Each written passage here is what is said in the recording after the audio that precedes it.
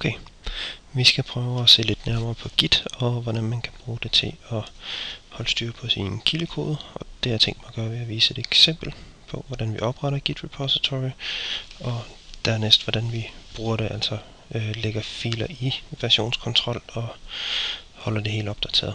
Men øh, vi kan lige så godt prøve at komme i gang. Jeg har øh, lavet en ny map, der hedder Git Tutorial. Gået ind i den, og øh, lige nu indeholder den ikke noget. Først så vi gør det at oprette et øh, nyt repository. Det gør jeg med kommandoen git init, øh, der så laver et nyt øh, repository til os. Øh, som eksempel til det her har jeg tænkt mig at lave et lille program, der kan lave øh, nogle beregninger i Python. For eksempel regne Fibonacci-tal ud. Og øh, det prøver jeg lige at, at gøre klar til her nu. Øh, filen, der skal laves, hedder fib.py. Og så må jeg se, hvor, hvad vi kan få lavet i den. Til at starte med skal jeg bare sætte der hul igennem. Øh, så. Jeg skriver print hej og, og prøver at få gemt det her og se om, om det rent faktisk virker.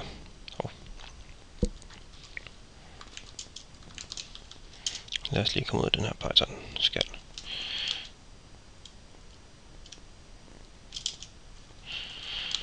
Så skriver vi Python, og så øh, programnavn, og så må vi se, hvad der sker. Okay, den skriver hej ud, så der er sket et eller andet.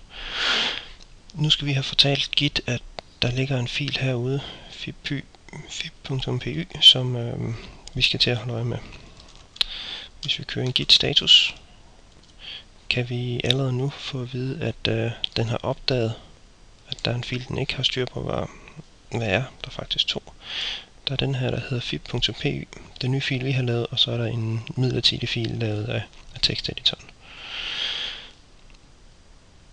Godt. Øh, for at få git til at holde øje med filen, så kan vi enten køre kommandoen git add, og så øh, fib.py. Eller så kan vi bruge øh, en brugerflade, der hedder git GUI. Det starter ved at skrive git mellemrum GUI. Og så kan vi markere, hvad der skal tages med. Brugerfladen til git GUI ser sådan her ud. Øh, øverst til venstre har vi en liste med de filer, som øh, Git har opdaget, der er sket ændringer i, eller der er kommet nye filer til af. For eksempel den fil, vi gerne vil have med.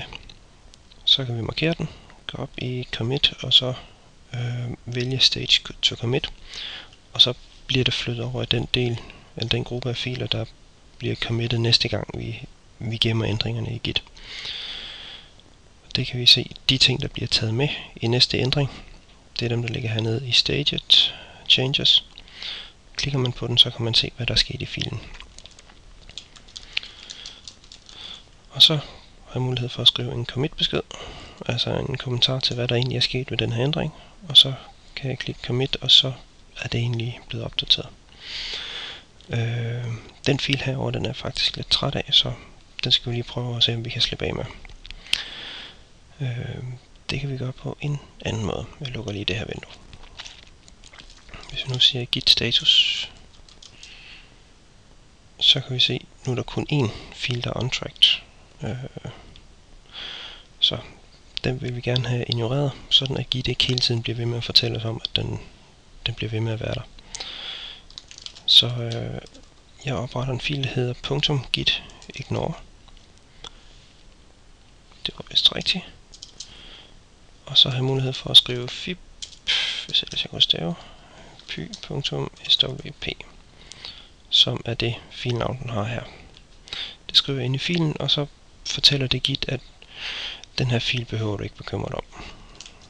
Det gemmer jeg og lukker hvem ned, og så kan vi prøve at se, hvordan det ser ud. Hiver jeg git GUI frem igen, og vi kan lige køre en status. Og så siger den med status med untracked files, det er, at der er en ny fil, vi ikke kender, som hedder gitignore. Fint nok, den har vi også lige lavet, så den skal vi have tilføjet. Åbner git GUI, Markerer filen, og så igen op i commit stage to commit. Vi kan også vælge øh, tastaturgenvejen. Og så skrive en kommentar til, hvad der sker, og så var det det.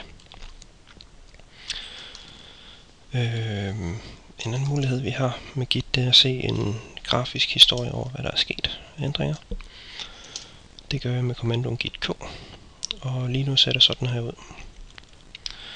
Øh, øverst heroppe, der kan vi se en liste af de ting, der er sket af ændringer, eller de ændringer, vi har fortalt Git om. Øh, nu har jeg markeret den øverste. Så øh, den tekststreng, der står hernede, det er ID'et for committet. Det vil sige øh, det navn Git bruger til at sige det lige præcis den commit, vi arbejder med. Og der står information om, øh, hvad der er sket af ændringer hernede, og sådan. Så den her vej kan vi følge, hvad der er sket af ændringer, hvornår. Og når der kommer flere commits ind i det, jamen så kommer der til at være rigtig mange dele på det her træ. Men det kommer vi til at se lidt mere på bagefter. Øhm, vi kan lige prøve at køre lidt videre med programmet. Slet lige den her fil, og så øh, opretter vi øh, en funktion, fib recursive, som kan beregne Fibonacci-tal. Øh, lige nu kan den ikke beregne særlig meget, men så kan vi se, at det, det rent faktisk virker. Og så siger vi lige uh, print. Øh, til, til de fire første. Så kan vi se, om den, om den opfører sig ordentligt. Godt. Python. Fib PY. Og så kan vi se, at med den, uanset hvad vi kaster ind i funktionen, så returnerer den en, og det er det, der bliver printet. Øhm, men lad os lige prøve at åbne Git GUI, og så kan vi prøve at køre lidt videre med det. Øhm, nu har jeg mulighed for at markere en del af filen, og sige, at det er kun de her ændringer, jeg vil have med. Det gør jeg ved at vælge de linjer, jeg synes er interessante, så sige stage lines for commit. Sådan her. Og så får jeg en fejl. Jo. Nå, vi tager lige det hele med i den her omgang. Øh,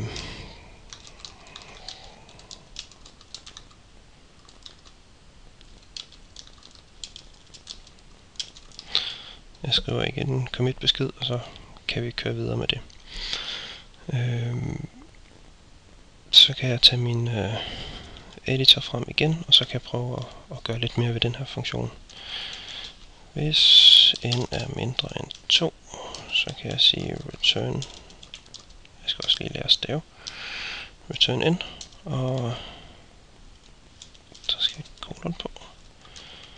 Og ellers så kan jeg sige return til fib recursive af n minus 1 plus n minus 2. Og så må vi se, om, om det har ændret på programmet. Vi kan prøve at køre den igen.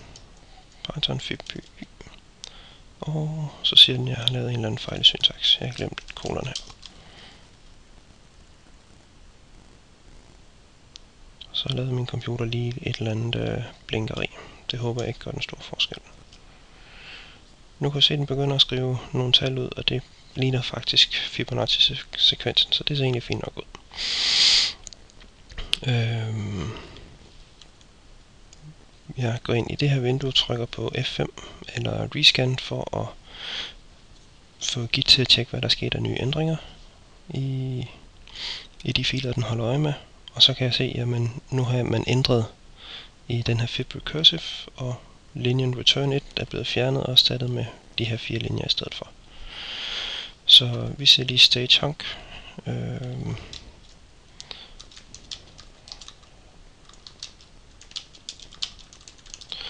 vi skriver en besked og færdig. Nu vil jeg så gerne prøve at udvikle to forskellige retninger. Øh, så vi skal lige prøve at se lidt på, på noget, der hedder branches. Det er lettest at håndtere herinde fra GitK. Øh, og det vil det jeg egentlig gerne vil, det er at lave en ny branch, hvor jeg kan få lov til at øh, teste de funktioner, jeg har defineret. Øh, så jeg opretter en test branch. Det var ved at højreklikke på den, og så sige create new branch, og så skrive branchets navn, og så vil jeg gerne over på den. Det foregår ved at højreklikke på test branch, og så check out this branch. Og så sætter sådan her ud. Vi kan se, at vi er over på test branch ved, at den er fed. Øh, og alle de ting i grønne bokse, det er forskellige branches, altså øh, steder på udviklingstræet, man kan arbejde videre fra. Jeg prøver lige at lukke vinduet ned igen. Og så kan jeg tage fat i min fil herover og så øh, kan vi prøve at erstatte de her fire linjer med en forlykke. K, en range. Hvad skal jeg op til?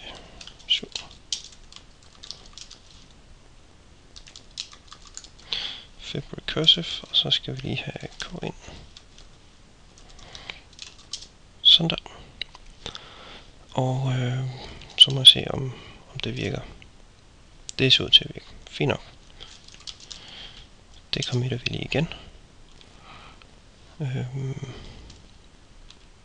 right click stage chunk for commit.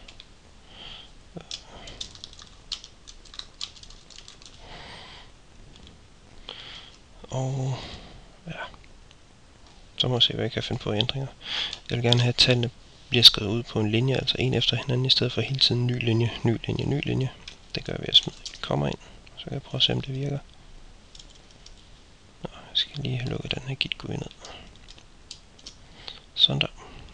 0, 1, 2 og så videre. Fint nok. Øhm,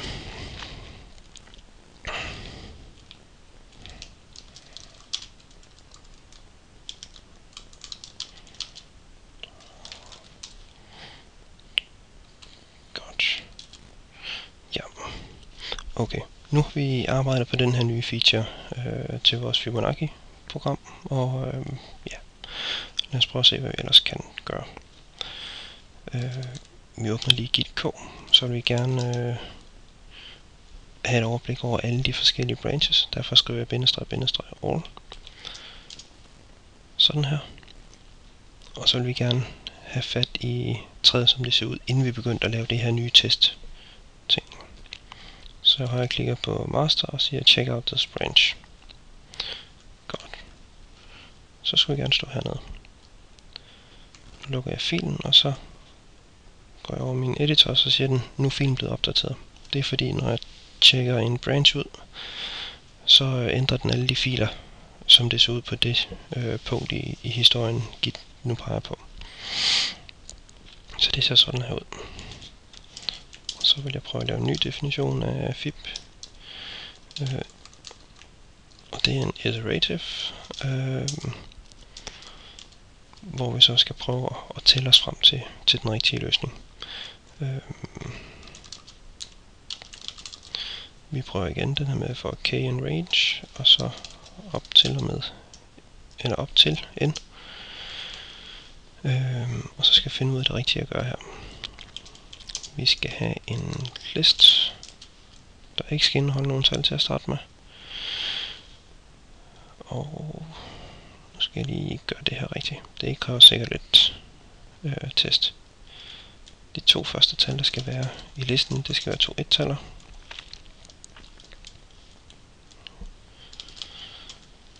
Så skal vi ikke... Ja, vi skal stadigvæk køre op til n, men vi skal starte fra 2.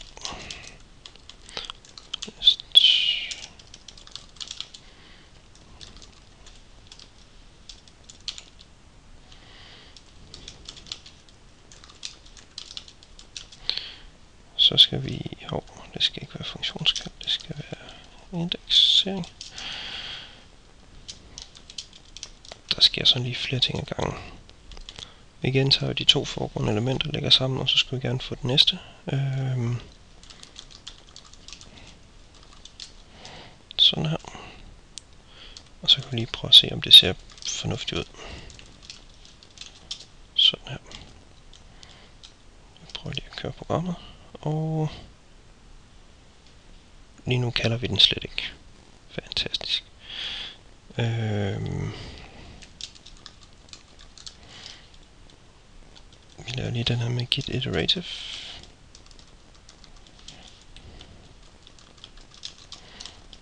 Og så prøver vi igen.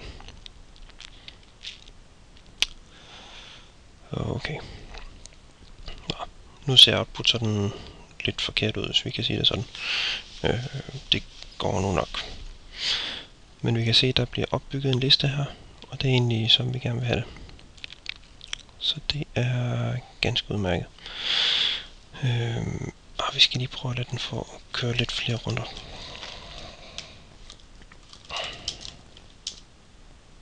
Okay, så kan vi se, at Fibonacci-sekvensen begynder at dukke op her. Det ser fint ud. Øhm, så det, der står tilbage, det er egentlig at sige return list, og så plads ind. Så må jeg se, om det virker.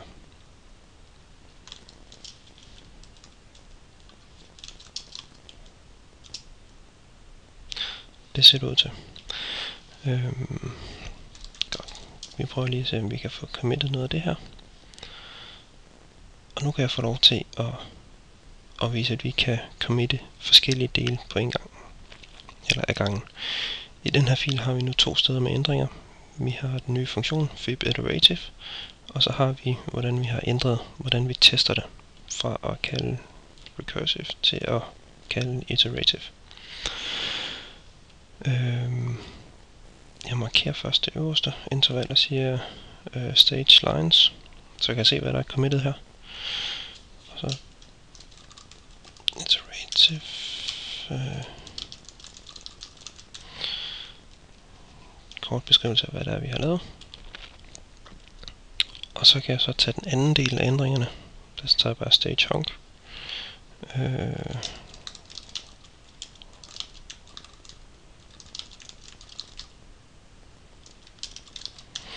og så ny commit besked. Fint nok. Så kan vi prøve at se, hvordan den samlede historie ser ud nu. Git k. Og så husker vi lige at bruge det her bindestreg, bindestreg all på. Og så kan vi se, de første fire commit, dem er alle sammen enige om. Og så er der en udvikler, eller øh, der har udviklet den her test branch, hvor man har ændret på, hvordan øh, prøver man funktionerne af. Og så er der en anden her i master, der har lavet en ny øh, implementation af FIB øh, funktionen og også ændret lidt på, på hvordan den bliver testet. Men øh, nu vil jeg gerne prøve at tage de ændringer, der ligger hernede, og så egentlig prøve at flytte op oven på, på master branch. Lige for at vi ikke laver rod i noget af det, vi har styr på indtil videre, så øh, laver jeg en ny øh, change history branch, som jeg går over i, og så hvis jeg laver nogle problemer ved, med det jeg vil til nu, så kan jeg altid tjekke master ud, og så er vi tilbage til hvor jeg var før. Øhm, det jeg gerne vil gøre, det er, at nu har jeg de ændringer, der ligger på, ja, på master branch, eller den her change history, og så vil jeg gerne have taget ændringerne ned fra test branch og lagt op ovenpå. Det gør jeg simpelthen ved at højreklikke på den, vælge cherry pick. Det betyder, at nu tager jeg øh, den commit, der ligger hernede, og så prøver jeg at sætte på herop på det sted, vi er nu. Og så siger den, okay, der er sket altså en fejl, der er en merge konflikt, fordi der er flere, der har det samme sted i, i filerne.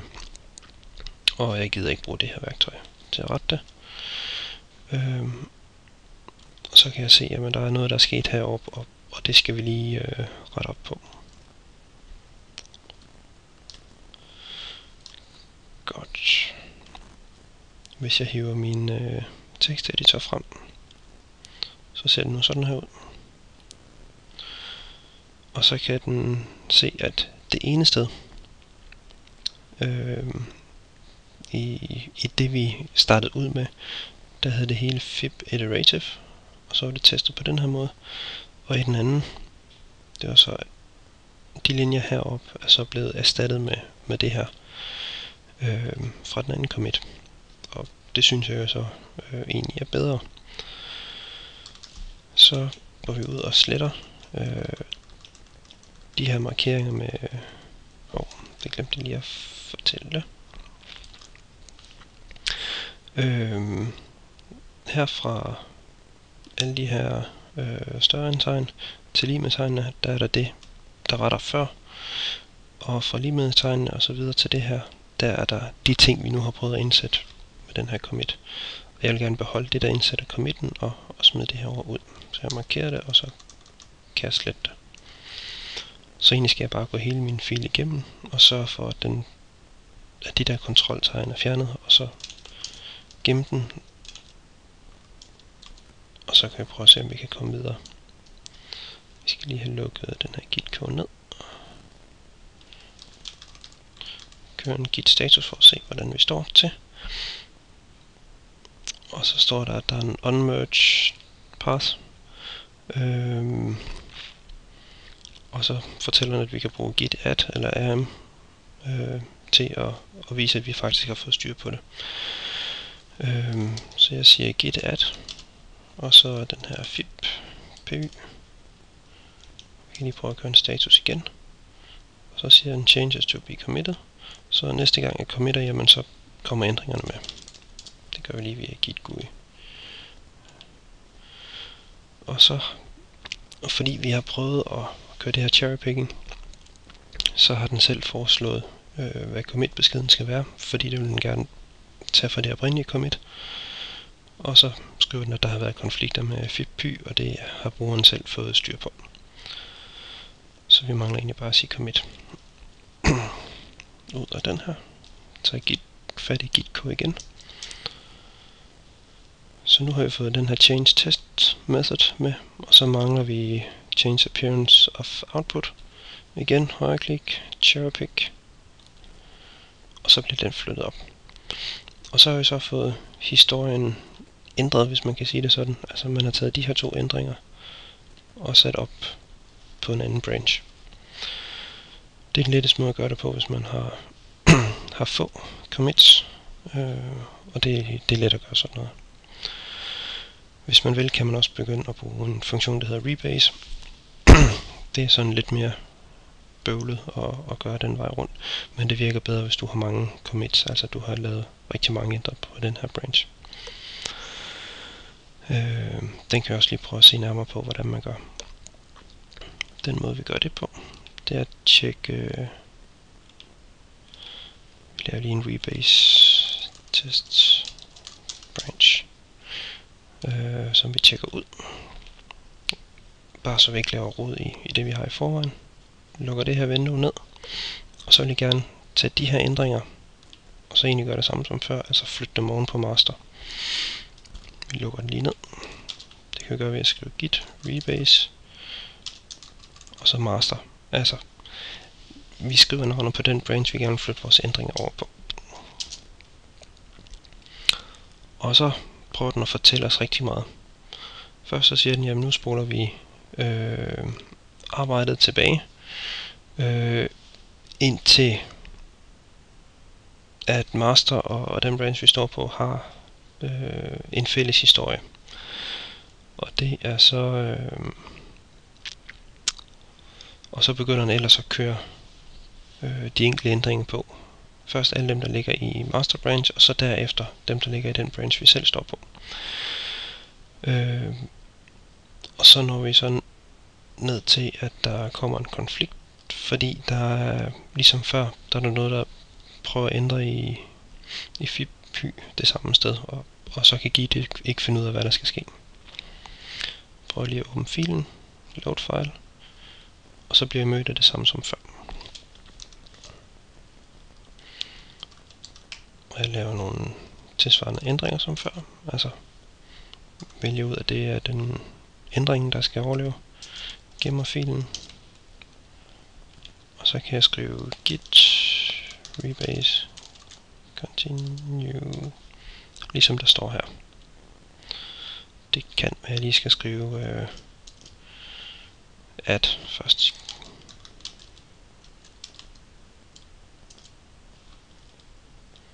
Godt. Så prøver vi at køre videre. Okay, så øh, kørte det fint på. Nu kan vi igen se, hvordan historien ser ud. Nu ser det sådan her ud. I kan se, at vi startede hernede fra, og så er historien splittet op til, øh, til rigtig mange forskellige steder. Og ja, så lige for at få ryddet op i historien, så har jeg også mulighed for at slette forskellige branches. Det gør jeg bare med at højreklikke på dem, og så øh, remove branch, eller delete. Det vil jeg gerne. Og så kommer den med en advarsel, fordi nu er der ikke nogen branch, der holder den her serie af ændringer i live, så næste gang vi starter git op, så kan den ikke finde den. Øh, men vi har jo gemt indholdet af den, så ja, de ligger her. Så vi mister ikke noget ved det. Tilsvarende gør vi hernede med remove. Og så kan vi lukke uh, git ned. Vi kan også vælge at uh, lave en refresh, eller hvad er det? Reload. Og så kan vi se, hvordan historien ser ud nu.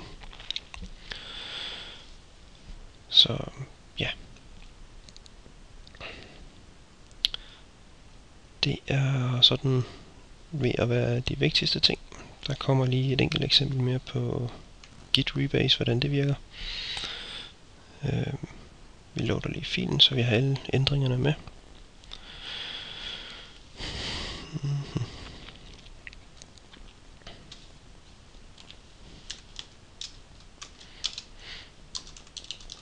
Vi tilføjer en, en kommentar, fordi det er altid pænt at have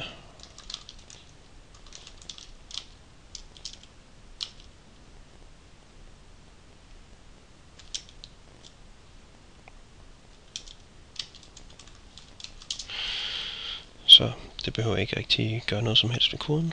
Øhm, prøv at commit det med git GUI.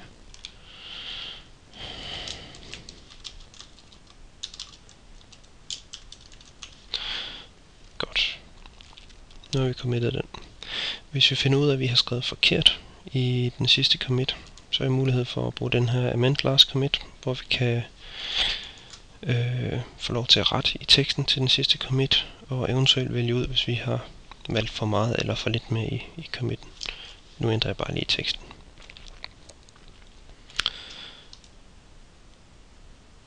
Godt. Det sidste trick, jeg lige vil vise, det er Git Rebase i en interaktiv version. Derfor skriver jeg det her øh, i. Fordi så vil jeg prøve at se på, hvordan historien har set ud over de sidste øh, prøver bare 5 commits det skal øh, definere ved at sige head altså der hvor jeg står lige nu og så gå 5 commits tilbage med den her tilde 5 og så viser den mig de sidste 5 øh, øh, commits der har været. Og så har jeg mulighed for at ændre historien på dem her. Øh, hvis jeg skriver pick ud foran, som der står her, så bliver committen bare taget med, som den har været hele tiden. Altså, jeg laver ikke nogen ændringer. Men øh, hvis jeg skriver e for eksempel, så øh, står den mig øh, altså her. Så kan jeg gemme filen, og så hvis jeg kører videre, så vil den bede mig om øh, at ændre commit beskeden, så den bliver opdateret. Der er også en anden mulighed, det er at jeg kan sige, øh, jeg kan slette linjen helt, så forsvinder committen ud af historien. Øh, Git glemmer simpelthen, den har været der. Det er jeg ikke interesseret i, i, i det her tilfælde. Eller jeg kan lave den sidste, der hedder squash. Øh, hvor jeg egentlig bruger committen, eller indholdet af den, men øh, jeg slår den sammen med committen før, så de to linjer her bliver egentlig til en commit. Det prøver vi lige af. Vi gemmer. Gå ud af editoren. Og så viser den mig commit beskeden for den første commit og for den anden commit. Og så kan jeg så rette det her til, så commit beskeden ser ud, som jeg gerne vil have det. Gemme filen, og så er vi, vi er egentlig færdige. Vi kan lige prøve at se, hvordan det ser ud. Øhm, så har vi den her git test branch, eller rebase test branch, hvor vi nu kan se, vi har den nye kommentar, vi har lagt ind, og så har vi øh, den ændring, der var i den oprindelige, den her changed appearance of output commit. Øhm, ja. Jeg håber, det har givet jer lidt idé om, hvordan Git virker, øh, hvordan man kan bruge øh, Git K og Git GUI, og held og lykke med det fremover.